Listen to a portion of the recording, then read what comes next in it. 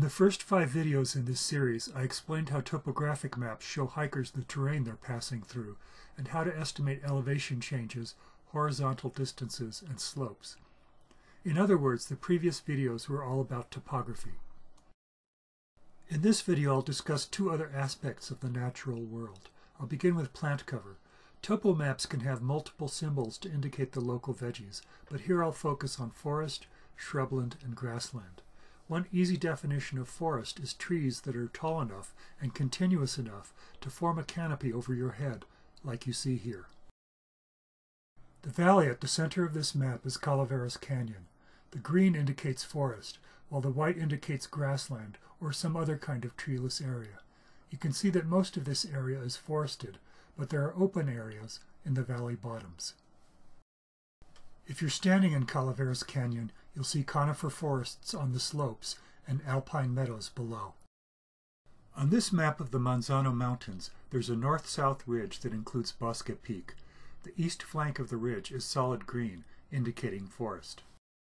This is what part of that forest looks like. On much of the ridge, the green is printed in little dots known as stippling. The map is telling you that in those areas, you're not in true forest, but in shrubland. In the southwest, such areas are usually called woodland rather than shrubland. Regardless of the name, we're talking about areas where the trees aren't tall and dense enough to form an overhead canopy. The stippling isn't highly obvious in the previous map segment, so I'll zoom in, even though that makes the image blurry. The flatter area west of the stippling is white, so that area lacks trees. You might have an isolated tree here and there, but that's it. In the real world, the white area on the map looks like this. It's mostly grass or bare soil, but you can see a few low bushes in the middle distance.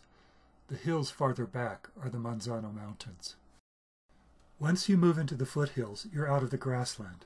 The patch of solid green marked by the arrow tells you that there are tall trees in the canyon southwest of Bosque Peak. But most of the foothills terrain is stippled green, so it's shrubland. And this is what the foothills shrubland looks like. The trees are mostly low junipers, mostly 6 to 10 feet tall, with enough space between them that you can find a way through. Here's what the stippled area looks like on top of the manzanos. If not for the existing path, you'd have to cut your way through. In this picture, the shrubs are mostly oak. Out west, the name for dense thickets like this is chaparral. You've seen this map segment in earlier videos in the series, but this time let's analyze it in terms of veggies. Apparently Williams Lake is in a meadow, but is mostly surrounded by forest. Also, the mountain peaks aren't covered with forest, so as a guess, they're above tree line. Here's Williams Lake and its meadow with trees nearby. You can also see how the local peaks extend above the trees. Now it's time to talk about water. Here in the southwest, where water is so scarce, map symbols for water are more important than the symbols for plant cover. In this video, I'll focus on five topographic symbols for water. Lakes and ponds are easy to spot. They're light blue blobs with dark blue outlines. In general, blue on topo maps means water. Here are the other four water symbols I want to talk about. I'll go over them one by one. For my map example, I'll use a section of the Rio de las Vacas in the Jemez Mountains. By this point in the video series, I hope you can see a main valley with a stream that flows southward, as well as three side valleys, two flowing in from the east and one flowing in from the west. Let's build on that by looking at the water symbols. You may need to go full screen on a computer to see them properly.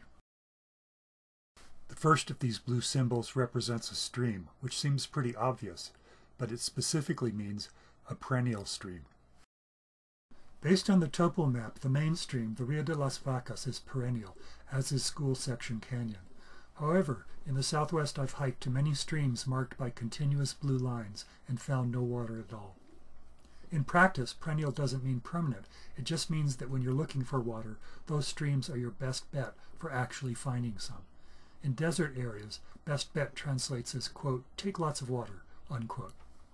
This symbol, a blue line interrupted here and there by three dots marks intermittent streams. In my experience, at least 99% of the time, the stream bed is bone dry. Based on the topo map, Turkey Creek and Telephone Canyon can't be relied on as water sources. On the other hand, if you need to cross them, you're not likely to get your feet wet.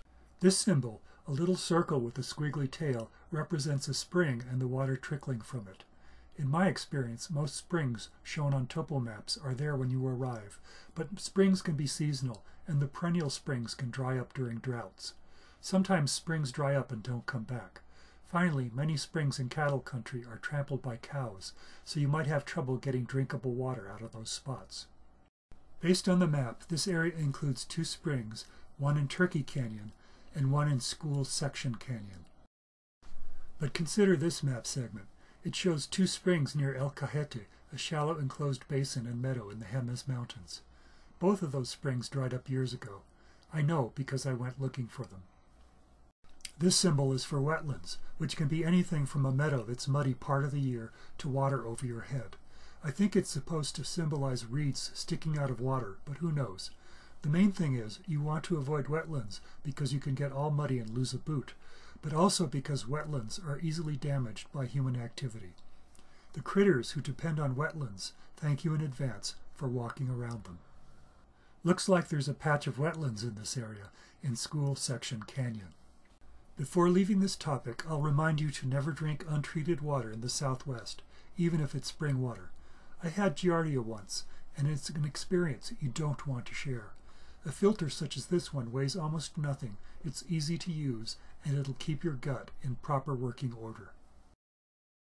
There are many other symbols that represent other kinds of vegetation and water, but now you know the basic ones. Combine that information with the topographic details on your map, and you'll have a good sense of the natural world you're about to enter.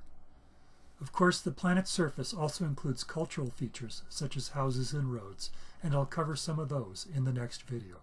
Thank you.